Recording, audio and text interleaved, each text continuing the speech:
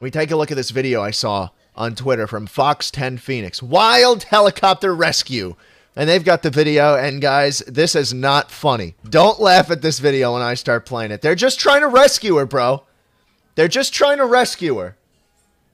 They're they're trying to give her an airlift. This is not. this is not funny. Don't look. Don't look at what's happening to the lady right. you think she's gonna slow down?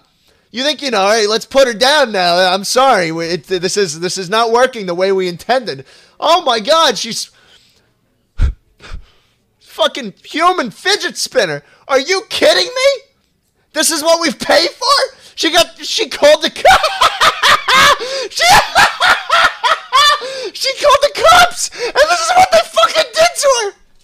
This is what they fucking did to her. What is she a dreidel? What is this Hanukkah? What the fuck, dude? No fucking way did they ha- did they do this to her. Oh my god. Oh my god, and there she goes. There they go.